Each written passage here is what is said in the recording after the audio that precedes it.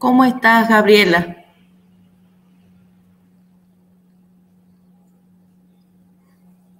Buenas tardes, Silvana. Bueno, por lo menos ya son dos. ¿Me escuchan?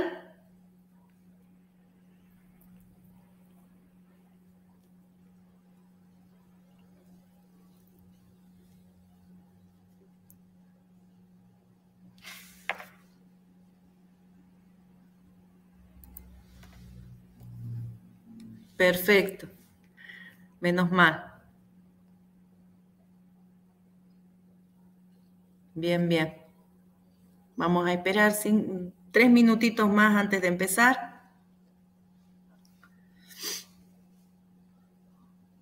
Por lo pronto vamos a, este, a, hablar acerca de qué es lo que vamos a hacer. Este, es decir, hoy día eh, vamos a, comenzar a ver los metabolismos, ¿sí? Este, aquellas vías metabólicas que se suceden en, el interior de la célula para este, cumplir con todas las necesidades que requieran, ¿no es cierto?, este, para realizar cualquier trabajo. ¿Sí? Este, con esta parte ya iniciamos la segunda etapa, digamos, la segunda parte de la materia, el desarrollo de la segunda parte de la materia.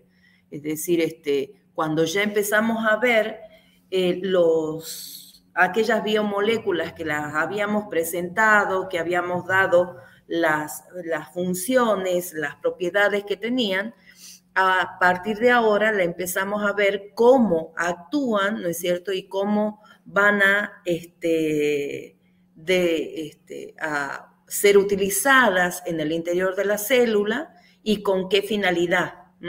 Si es con la finalidad de cumplir una función plástica con el desarrollo de algún tejido o con la finalidad, ¿no es cierto?, de reservar energía o con la necesidad de producir energía, en fin. Entonces vamos a ver cómo esas moléculas o sirven para formar moléculas más complejas o sirven para degradarse y producir energía. ¿Sí? Este, bueno, chicas, eh, chicos, en general. Em, antes que, continuemos, este, les quiero hacer un, un, breve comentario acerca de que mañana, el, eh, como como martes y miércoles desarrollamos las clases teóricas, ¿no es cierto? Este, no va en el primer parcial esto, tranquilos, no va en el primer parcial. Este, el tema este, pero tengo que continuar eh, con el desarrollo de la materia, si no, no vamos a terminar este, para el 12 de agosto, que es el, tiempo que tenemos, ¿no es cierto?, para terminar la materia. Eh, así que ya este tema va para la segunda unidad, es decir, este, para después del parcial. Ahora, este, con respecto a mañana, mañana este, va a haber una clase de consulta, ¿sí? En esa clase de consulta, ustedes van a tener en la primera hora este, consulta de una de las partes de la materia, no es cierto que va a abarcar, ya vamos a ver este, si Camila o yo, cuál de las dos va a dar la primera parte, pero en definitiva van a poder sacarse las dudas que necesiten para el parcial que es el martes que viene, ¿sí? Ese parcial va a ser a través de este, el campus virtual y este, tanto el parcial como la recuperación del parcial. ¿Está claro? Este, y eh, alguna otra cosita, a ver que me quede de, por decir, creo que nada más. Por ahora creo que nada más. Bueno, eh, vamos a empezar entonces con el tema eh, de hoy, ¿sí? no sé, hay algunas cosas que Tranquilos chicos que esto no va, vuelvo a repetir, ¿no? porque como veo de que están ahí preguntando en el chat, este, no, no va en el parcial esto. Pero sí me interesa de que lo vean porque este, por ahí cuesta un poquito, ¿sí? De todas maneras, también tienen las clases desarrolladas de estos, este, digamos, este, subida en el campus virtual, están las clases grabadas de los metabolismos. Así que si no lo terminamos de ver hoy día, lo pueden continuar viendo en las clases que están este, en el campus virtual, ¿sí? Ahí tienen ustedes el enlace que los lleva directamente a las clases que están grabadas, ¿sí? Bueno, con respecto al metabolismo de los hidratos de carbono, ustedes se acuerdan que los hidratos de carbono son utilizados en el organismo fundamentalmente para generar energía y para el resto, el excedente que tengamos, ¿no es cierto?, sirve para, este, ¿cómo se llama?, para eh, producir, una vez que se ha producido energía, el resto se va a acumular, ¿no es cierto?, o se va a almacenar como glucógeno, ¿sí? Eh, ¿Cómo está Jessica también? Eh, bueno, entonces, en sí, nosotros tenemos que este, la, en sangre tenemos un rango de valores normales de glucosa, ¿sí? El, este, se le llama glucemia, por un lado, a la este, presencia de glucosa en sangre. Todo lo que tiene terminación emia hace referencia a algo que está en la sangre. El valor normal o el rango de valores normales de glucosa, porque no podemos hablar de un, solo determinado valor, no, hay un rango de valores normales que se lo considera que está dentro de los valores normales de glucemia. Glucemia porque es glucosa en sangre. Y equivale a 70 a 110 miligramos por decilitro. ¿Sí? Ese, rango de valores normales, ¿no es cierto?, se va a mantener gracias a lo que nosotros ya habíamos visto en la clase de regulación a través de las hormonas. La hormona que va a actuar ante la presencia de un exceso de glucosa, es decir, cuando los niveles de glucosa superan el valor de 110, quien va a volver o va a tratar de hacer volver los valores a la normalidad va a ser la insulina. Y por el contrario, cuando los niveles descienden por debajo del valor normal, por ejemplo, en una situación de ayuno, entonces en ese caso, quien restablece los valores, mandando glucosa a la sangre y elevando los niveles de glucosa en sangre, va a ser la hormona que se contrarresta directamente a la insulina, que es el glucagón. Hay algunos tejidos que dependen exclusivamente de la glucosa para producir energía, como por ejemplo en el caso del cerebro. Por lo tanto, ¿no es cierto? Se hace imprescindible la presencia de la glucosa, obviamente, en sangre, ¿sí? Y varios procesos van a contribuir, perdón, este, estoy, ay Dios mío, bueno, varios procesos van a contribuir a este propósito, ¿no es cierto? Algunos aportando glucosa a la sangre y otros que van a tratar de sacarla siempre y cuando, ¿no es cierto?, de acuerdo a las necesidades que tenga la célula en ese momento. ¿Sí? Esto es un breve repaso. Ustedes saben que nosotros incorporamos los hidratos de carbono con la dieta, ¿no es cierto? Y cómo lo podemos incorporar los hidratos de carbono, como polisacáridos, como disacáridos o como monosacáridos. Pero en definitiva, todos esos compuestos, ¿no es cierto?, van a ser degradados con excepción de los monosacáridos, obviamente, ¿no? Pero los disacáridos y los polisacáridos van a ser degradados hasta obtener monosacáridos en la digestión. Y en el intestino delgado, esos monosacáridos van a atravesar la pared intestinal y van a ser absorbidos y llevados a sangre.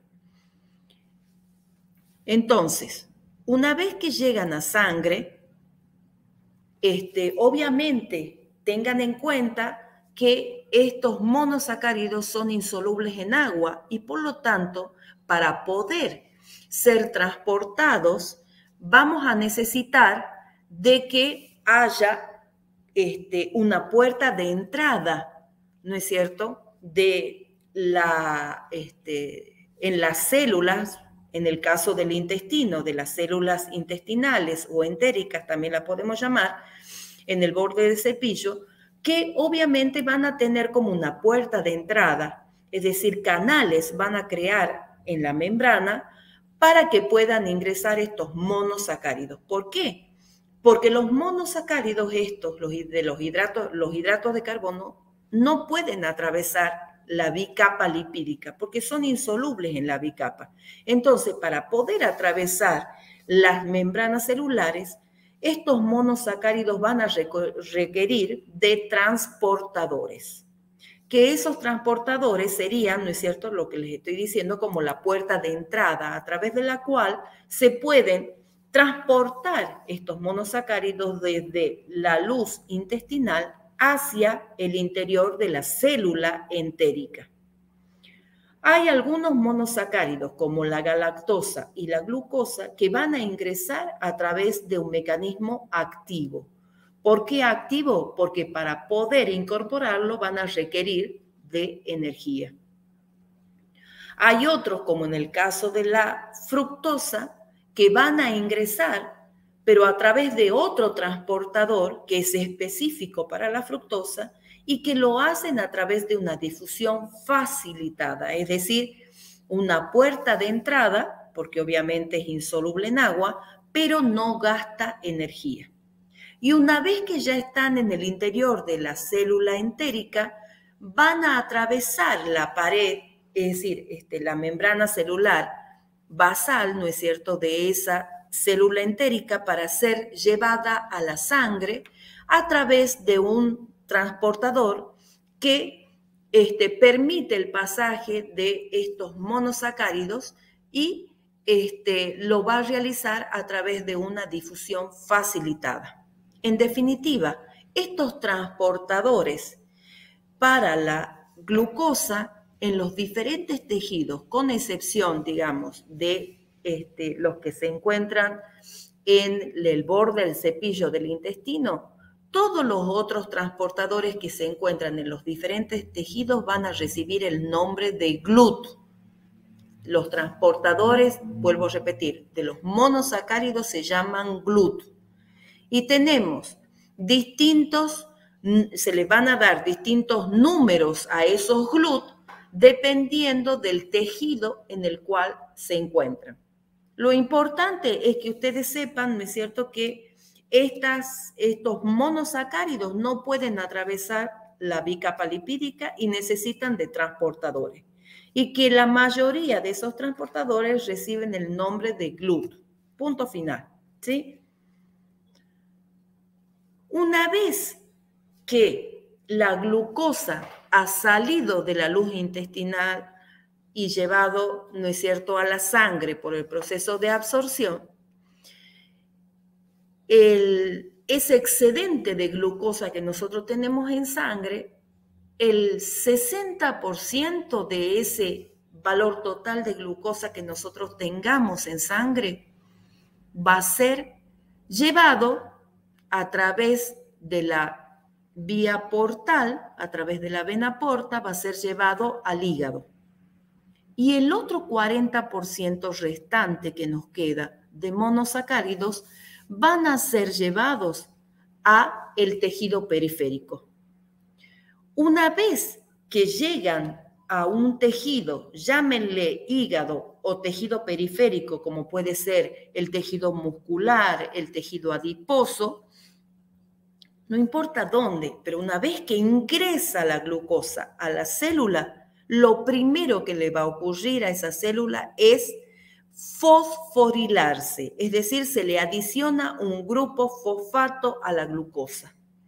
Y para fosforilarla se fosforila en el carbono 6, la glucosa, y para fosforilarla necesitamos de energía.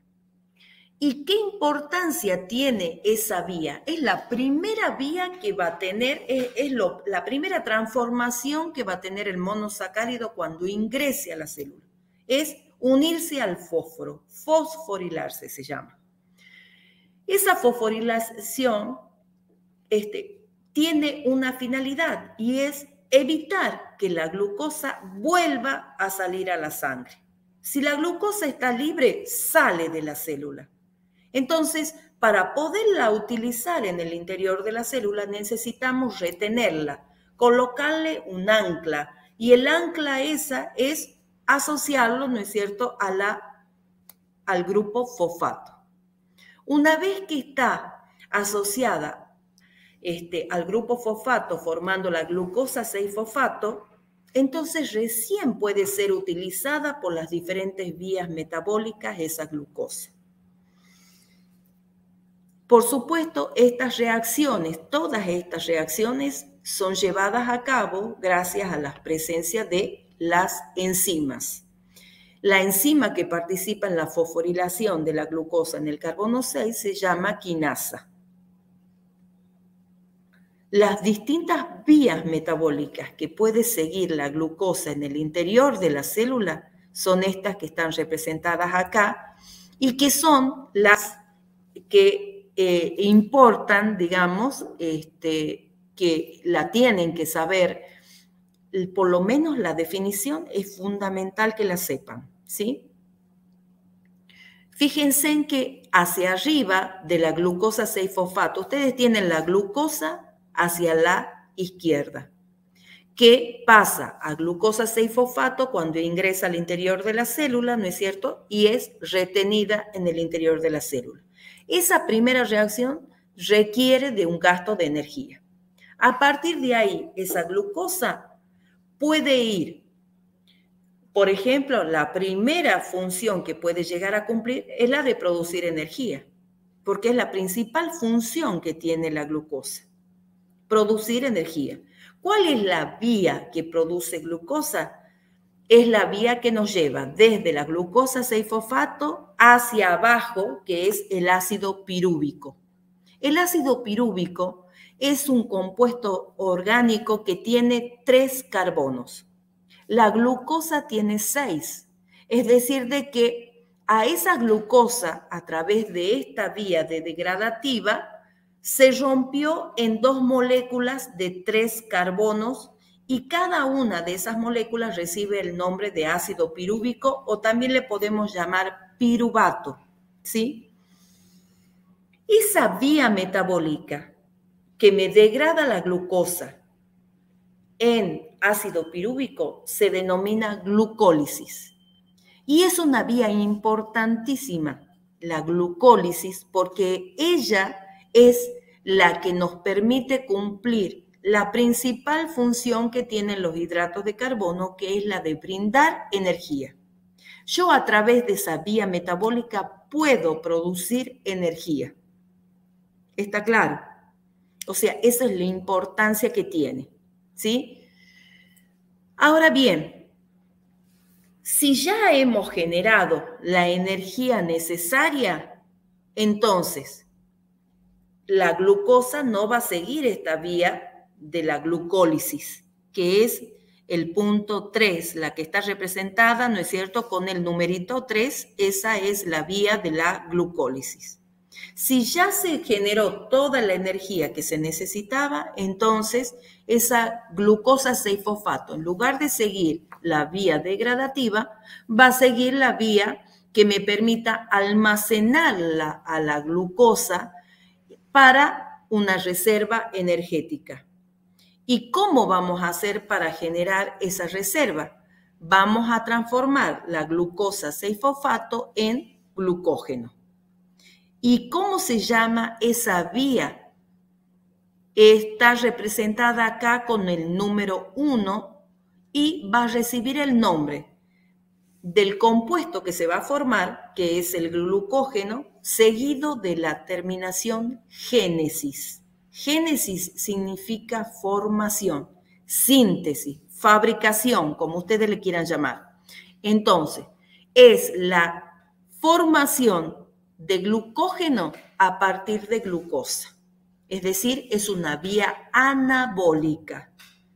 ¿Por qué? Porque estoy partiendo de una molécula sencilla que la estoy llevando a formar una molécula más compleja.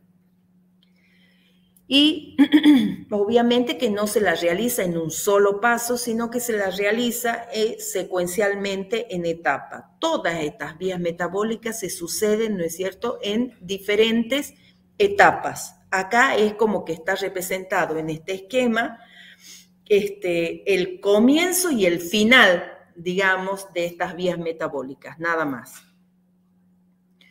El proceso inverso de la glucógenogénesis, es decir, cuando nosotros necesitamos mandar glucosa a la sangre, ¿cuál es la vía metabólica que se va a activar? Y bueno, se va a degradar el glucógeno. Vamos a degradar el glucógeno, se va a formar la glucosa 6-fosfato y esa glucosa 6-fosfato se va a transformar en glucosa. Y nosotros sabemos que cuando la glucosa está libre, puede salir a la sangre. Esa vía que me degrada el glucógeno se llama, como dice ahí el numerito 2, glucógeno lisis. Lisis, entonces, todo lo que diga lisis significa ruptura. Entonces, será la vía que degrada el glucógeno, ¿sí? Luego tenemos otra vía alternativa que es la que está representada con el número 4 y que es la el ciclo o vía de las pentosas. Esa es una vía alternativa de utilización de la glucosa que consiste en transformar la glucosa o las exosas en ribosa 5-fosfato, es decir, en una pentosa, porque la ribosa es una pentosa. Y esa ribosa, ¿por qué es importante? ¿Para qué es importante en el organismo? Porque es uno de los constituyentes de una de las moléculas que almacenan toda la información eh, de las características del ser vivo, que es el, el ADN y el ARN, es decir, los ácidos nucleicos. La ribosa que se forma a través del ciclo de la pentosa es utilizado, ¿no es cierto?, ahí en esas vías, en las vías que sintetizan, ¿no es cierto?, los ácidos nucleicos, ¿sí?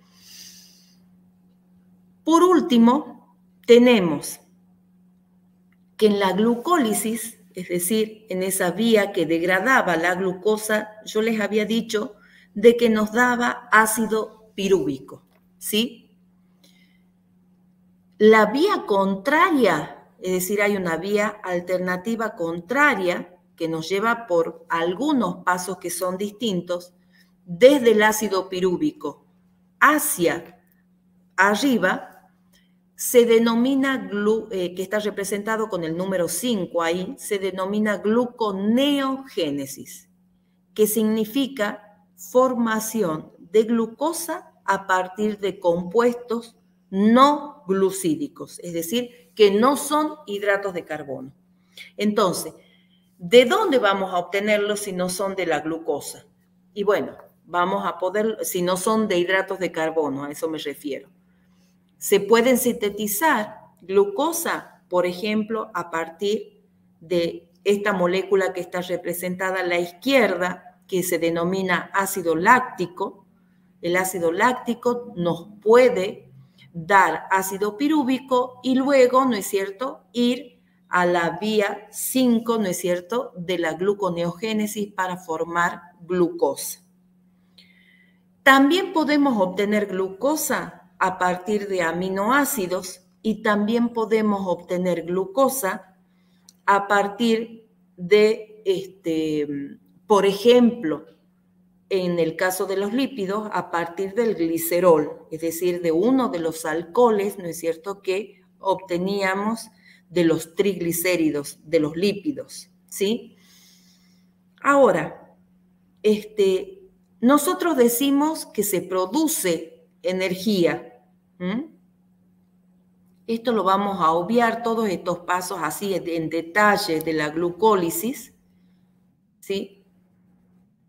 Y vamos a quedarnos con esta, con esta diapositiva. Ustedes ven que en la glucólisis, la glucosa que tiene seis carbonos es degradada, es partida por la mitad y nos da dos moléculas de tres carbonos que se llaman ácido pirúvico. Ese ácido pirúvico va a generar, ¿no es cierto? O tiene la posibilidad de tener dos destinos de acuerdo a la presencia o ausencia de oxígeno. Si no tenemos oxígeno, es decir, este, eh, por ejemplo, en un ejercicio intenso, ¿no es cierto? O que tenemos que correr porque estamos muy apurados y tenemos que llegar a algún lugar y nosotros sentimos que nos falta el aire, pero tenemos que seguir corriendo y corriendo y corriendo. Bueno, entonces, en esas situaciones, tenemos, gracias a Dios, tenemos en los músculos, que los músculos, las células musculares tienen la capacidad de generar energía aún en ausencia de oxígeno, siendo que nosotros no podemos vivir sin el oxígeno. Pero nuestros tejidos son capaces de generar energía en ausencia de oxígeno. ¿Cómo hace? Y bueno, en ausencia de oxígeno, que está representado acá en verde, donde dice en anaerobiosis, el ácido pirúvico va a ser transformado en otra molécula de tres carbonos llamado ácido láctico. Cuando se forma el ácido láctico, tenemos como eh, producción eh, total de energía a través de la glucólisis de dos moléculas de ATP. ¿Se acuerdan que la energía se almacenaba, no es cierto?, como ATP, en, ese, este, en esa molécula que almacena energía. En cambio, si esta vía de la glucólisis se hace en presencia de oxígeno, que es lo que está representado a la izquierda, en fucsia, dice en aerobiosis, la molécula de la glucosa, si ustedes se fijan que tiene seis carbonos, va a ser degradada totalmente. ¿En qué? Cada carbono se va a romper y nos va a dar dióxido de carbono más agua. Es decir, de que la hemos oxidado totalmente a esa molécula. La hemos combinado a la molécula esa con el oxígeno y como producto final nos dio seis moléculas de dióxido de carbono, seis moléculas de agua y miren la diferencia en la producción de energía. Tenemos 38 moléculas de ATP en presencia de oxígeno. Eso es una gran diferencia, ¿no es cierto?, con respecto a lo que obtenemos en anaerobiosis que solamente obtenemos dos moléculas de ATP.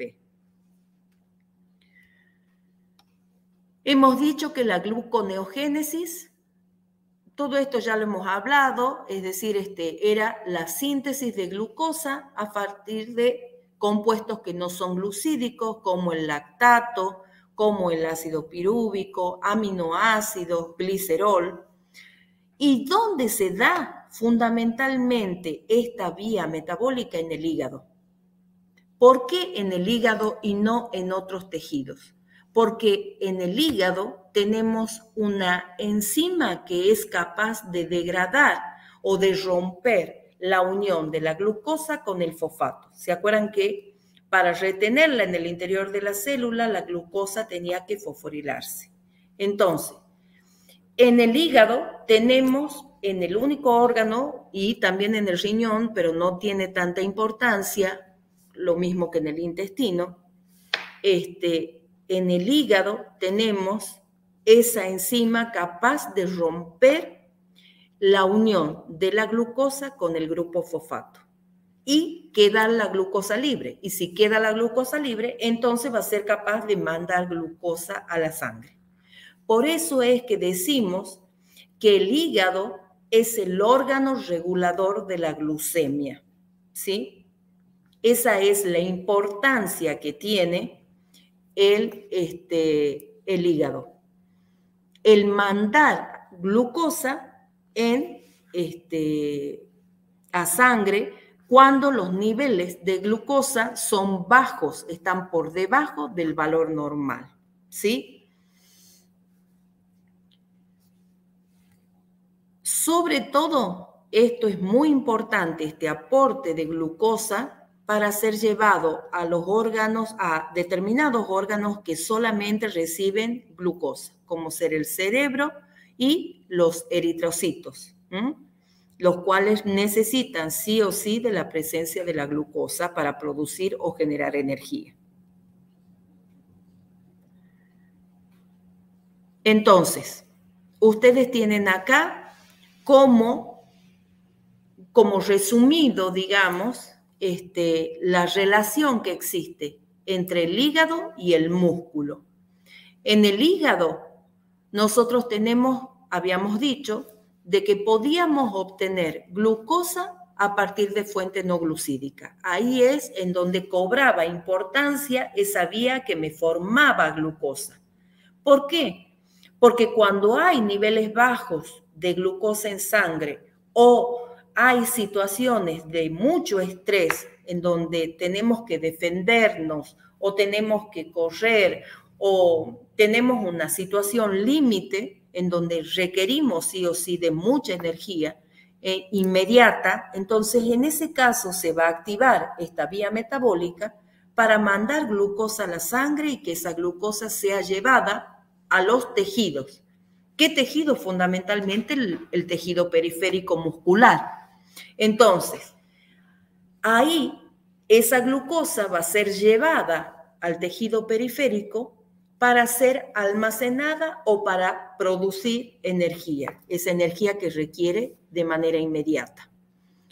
La mayoría de los tejidos musculares, ustedes ven acá entonces que la glucosa ha salido del hígado, aumenta la glucosa en la sangre y es llevada a dónde? Al músculo. Por eso está representado ese brazo, ¿no es cierto?, contraído, que indica que hay una contracción muscular. Entonces, en ese caso, la glucosa nos va a dar eh, energía, nos va a brindar energía y la mayoría de nuestras fibras trabajan en ausencia de oxígeno. Entonces, la glucosa no va a ser degradada totalmente, sino que va a ser degradada parcialmente hasta la formación del ácido láctico. Y ese ácido láctico, o sea que ahí únicamente se han generado dos moléculas de ATP por cada glucosa que se degrada, ¿sí? Ese ácido láctico ahora sale del tejido muscular y es llevado a sangre, ¿a dónde? Al hígado. Y en el hígado, ese ácido láctico que no es glucídico, es decir, no, no es un hidrato de carbono. Va a servir para formar glucosa a partir de fuente no glucídica, es decir, va, se va a activar nuevamente la gluconeogénesis.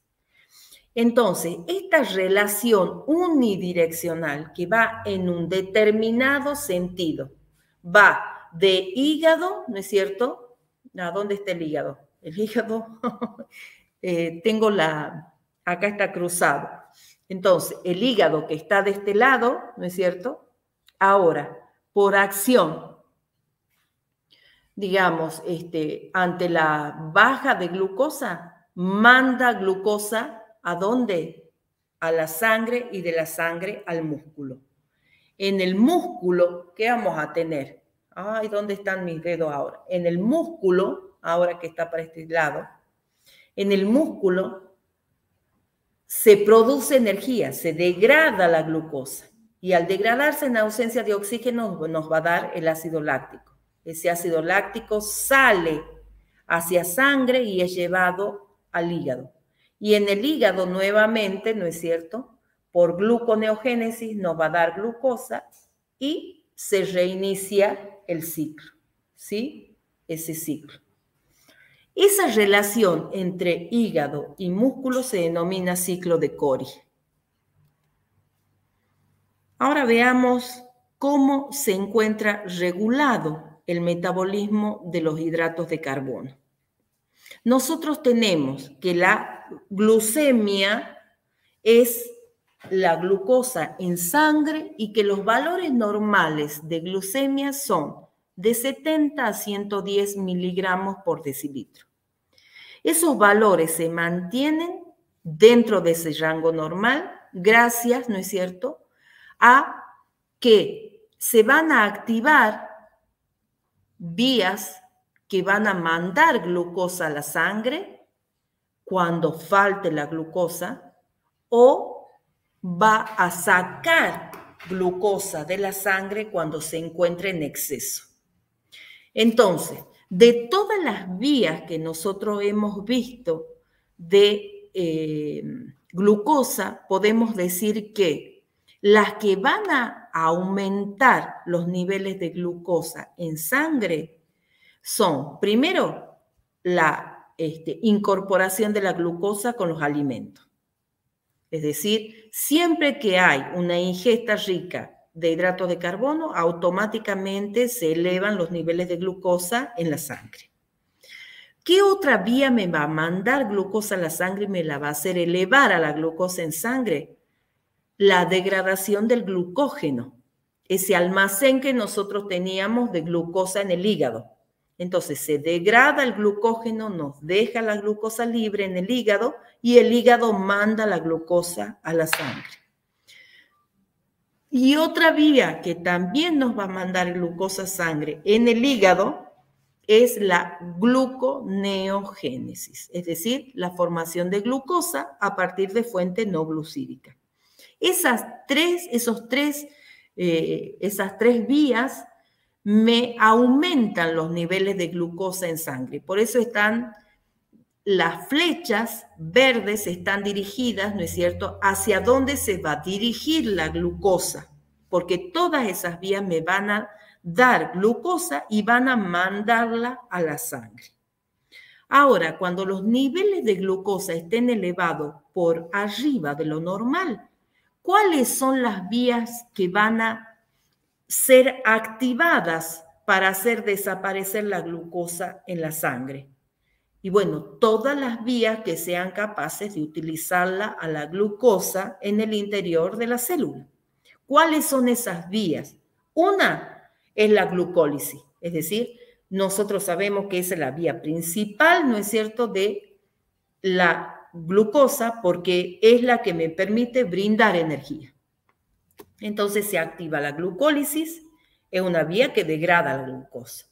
Otra vía que me va a hacer desaparecer la glucosa de la, de la sangre es la vía de la pentosa, la transformación de la glucosa en la ribosa, que es la que se va a utilizar, ¿no es cierto?, para la formación de los ácidos nucleicos. Y otra vía que me va a hacer desaparecer la glucosa es la glucógenogénesis, es decir, la formación de glucosa, de glucógeno a partir de la glucosa es decir, esa vía que me va desde la molécula sencilla, que es glucosa, la va uniendo y formando esa molécula grande, ¿no es cierto?, de este glucógeno, ¿sí? Esa, este, digamos, los niveles de glucosa en sangre van a estar regulados por dos hormonas fundamentales que son la insulina y el glucagón. Cuando actúa la insulina. La insulina va a actuar en aquellos momentos en donde haya una hiperglucemia. ¿Qué significa hiperglucemia? Que hay aumento de glucosa en sangre. Por ejemplo, la ingestión de hidratos de carbono. Yo hago una ingesta, hago el desayuno, hago, qué sé yo, este, una merienda, el almuerzo, la cena, cualquier ingesta que yo haga de hidratos de carbono, entonces a la media hora aproximadamente ya se ha digerido y pasa a la sangre esos hidratos de carbono. Entonces, al pasar esos monosacáridos a la sangre, le elevan los niveles de ella en sangre. Ante ese estímulo, de elevación por encima del valor normal, se libera la insulina, esta hormona que hace descender los niveles de glucosa en sangre. ¿A dónde se activa la insulina? En el páncreas.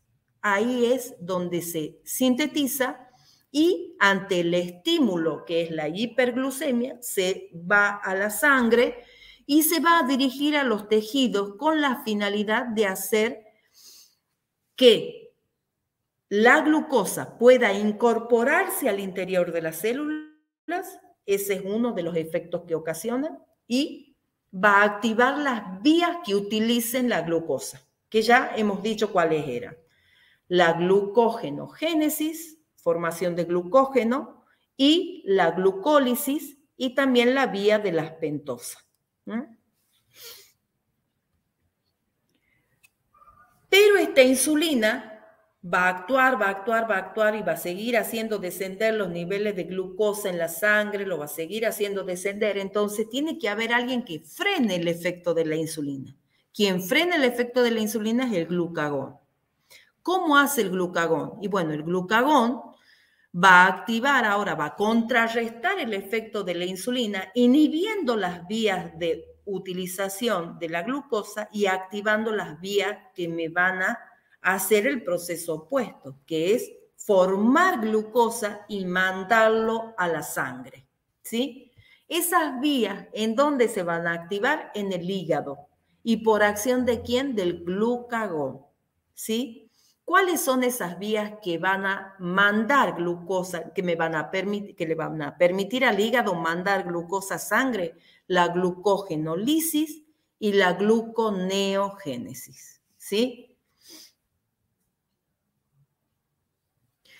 una aplicación clínica, digamos, este, de los valores de glucosa en sangre la tenemos con la diabetes mellitus. ¿En qué consiste la diabetes? La diabetes es un síndrome, ¿no es cierto?, de hiperglucemia.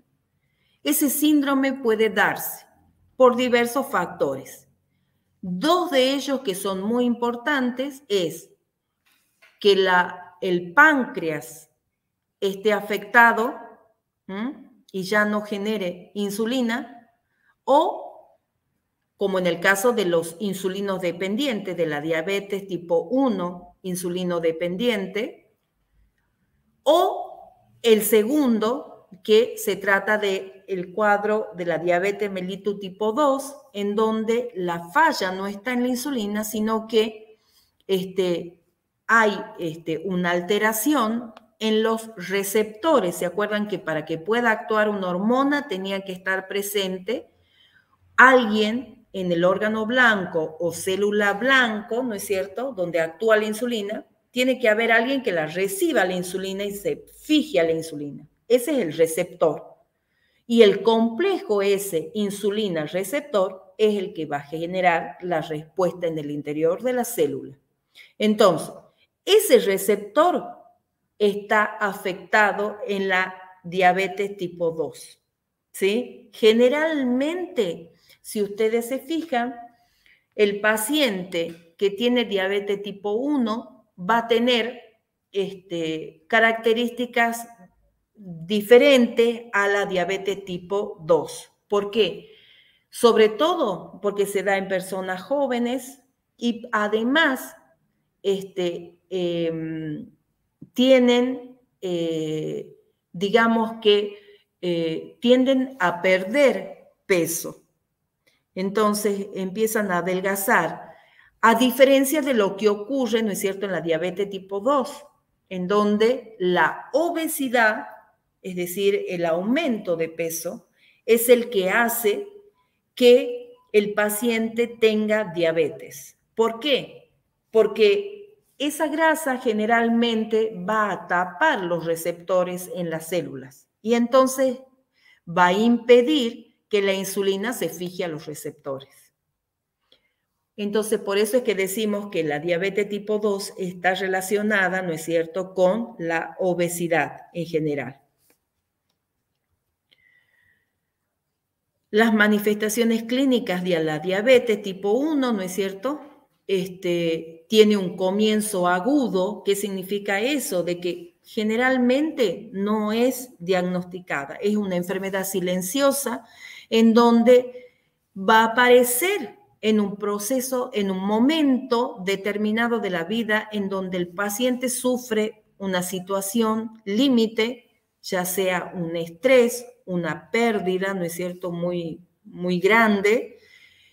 Entonces, este, hay un pico, eso genera un pico de glucosa tan fuerte, ¿no es cierto?, que puede llevar a la descompensación del paciente o en ausencia de glucosa, hay este, generación, digamos, de energía a partir de lípidos. Y en esa situación, el paciente tiene, este, ya vamos a ver cuando veamos el metabolismo de lípidos, en esa situación el paciente empieza a degradar los lípidos generando ácidos. Y en definitiva, ese cambio de pH por la acidez que hay es la que genera, ¿no es cierto?, que el paciente llegue confundido, que este, eh, con somnoliento. Aparte, ¿qué otra característica tiene esta enfermedad? Em, poliuria. ¿Qué significa la poliuria? Orinar, sobre todo levantarse a la noche para orinar. Tiene polidipsia, es decir, de que ingiere mucho líquido ese paciente tiende a perder peso el paciente con insulina tipo 1, tiene fatiga, debilidad generalizada y puede, este, digamos, aparecer esta diabetes justamente con esto que le estaba diciendo del exceso de ácidos que se llama cetoacidosis. Y este, cuando llega el paciente a la guardia, nosotros lo vemos con esas características y sobre todo en el lugar en donde se encuentra el paciente vamos a ver de que este, el aliento de ese paciente comienza a desprender un, este, un olor característico de eh, más bien dulce, eh, parecido a la acetona, al, al líquido este, ¿no es cierto?, al solvente que se utiliza para limpiar o sacar la pintura de las uñas. Y generalmente aparece antes de los 30 años. A diferencia de lo que ocurre en la diabetes tipo 2, que este, digamos que en general es asintomática, no tiene predisposición para la cetoacidosis y este, puede digamos, este, la mayoría de los pacientes este, cursan o, digamos, este, llegan a tener esta diabetes por, eh, debido a la obesidad. Bueno, estas son las actividades que las dejo para que la, la vean ustedes después, ¿sí?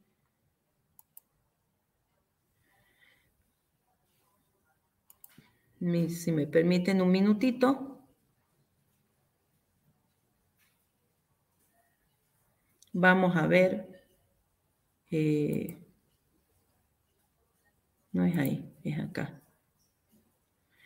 Eh, yo les voy a dejar este, ahora, es decir, con esto vamos a terminar la clase hoy día y este, Sí les voy a dejar en el campus virtual y también les voy a pasar el link este, para que ustedes puedan ver las clases del metabolismo de lípidos y el metabolismo de las proteínas este, durante esta semana para que puedan hacer las actividades, ¿sí?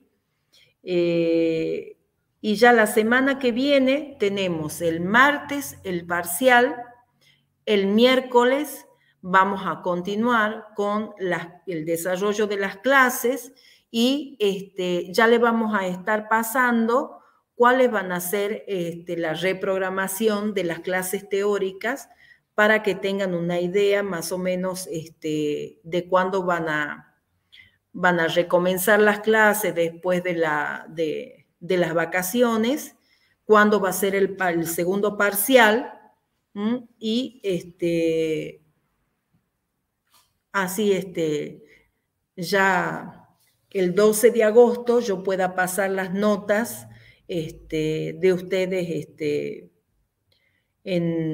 para que puedan, bueno, este, cursar las materias del segundo cuatrimestre. ¿Sí? Así que este, ya en un minutito, en unos minutitos ya les paso el link para que puedan verlas, ¿sí?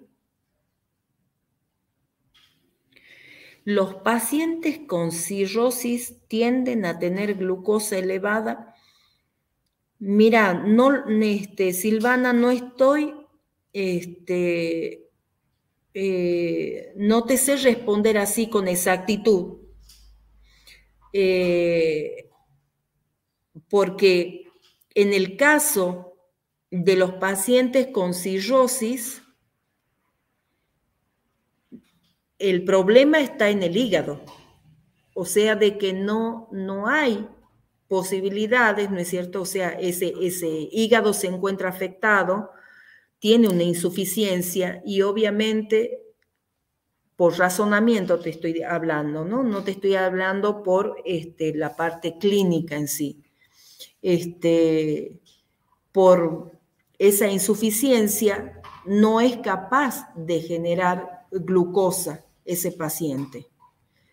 El hígado está, este, no, no funciona bien. Nosotros sabemos que el hígado es el que manda glucosa a la sangre, pero ¿qué pasa si ese hígado está alterado, tiene una cirrosis? La cirrosis es sinónimo de insuficiencia hepática. Entonces, la glucosa no puede este, fabricarse en el hígado y no es capaz de mandar glucosa a la sangre. Si en una cirrosis vos tenés glucosa elevada, eh, puede ser por otra causa, pero no precisamente porque el hígado esté mandando glucosa a la sangre. Los temas que van para el primer parcial son este, eh, de los temas de, mm, ya les digo, tienen agua por un lado. Si me permiten, que busque el cronograma. Eh, ya les voy a decir.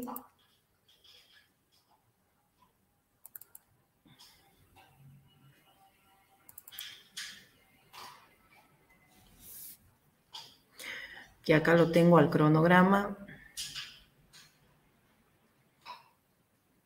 Solamente que me van a tener que tener un poquito de paciencia para que se abra la página porque mi computadora está muy lenta.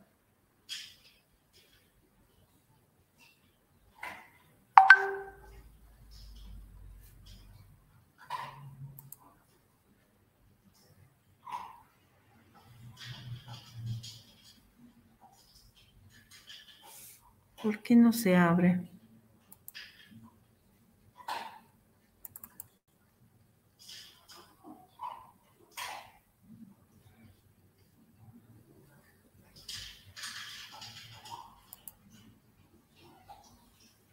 Ahora sí. Este, ya lo voy a compartir.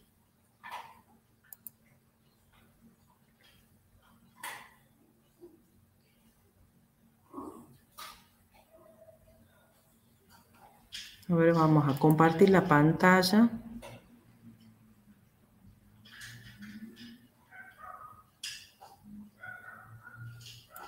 Vamos a ver si la puedo compartir la pantalla.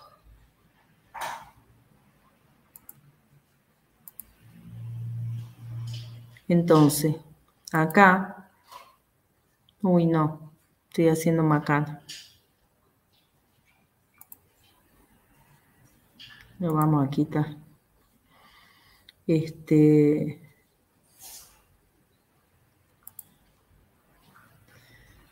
Vamos a, a ver si es que puedo hacer.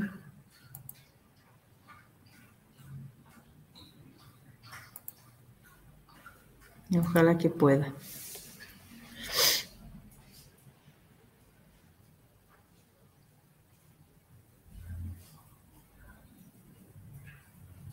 Mm, parece que no. Porque todos tienen que ser. A ver. Enfermería.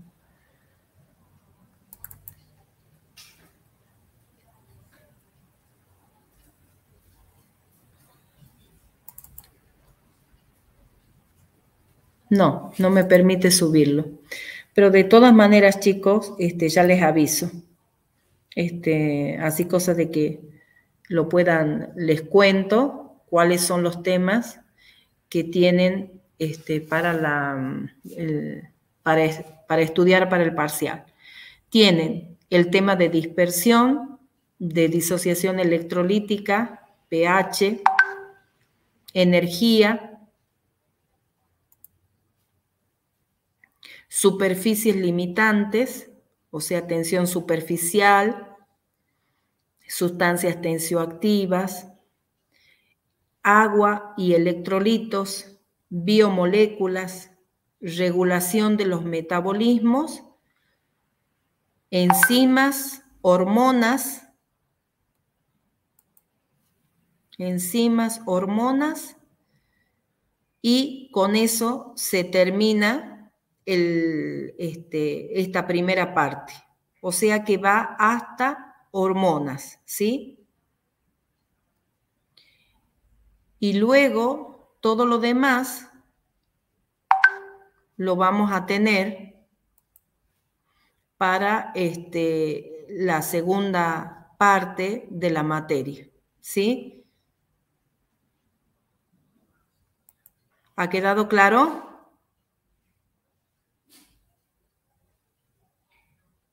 Ay, qué bueno, chicos, que me digan así. Ojalá que, que les sirva, o sea, eh, no tan solo de que les gusten las clases, sino de que la puedan aprovechar y, entender bien, ¿sí?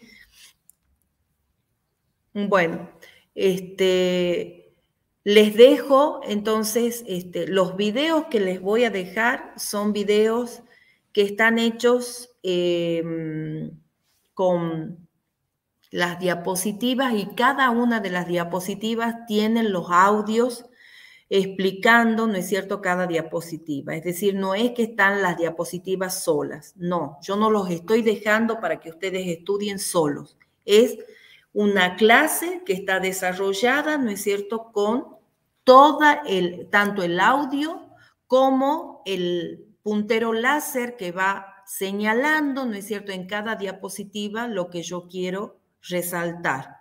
¿Está claro? Entonces ustedes ahí van a poder ver el metabolismo de lípidos y el metabolismo de proteínas.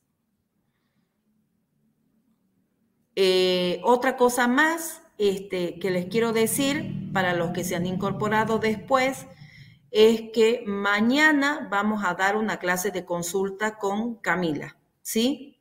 Así cosas de que ustedes puedan tener este, esa, esa consulta previa al parcial. ¿Está claro? El martes que viene es el parcial y va a ser de manera virtual. Bueno, este, con esto suspendemos ya y este, nos vemos mañana. ¿Está claro, chicos? ¿Sí? Chao, chao.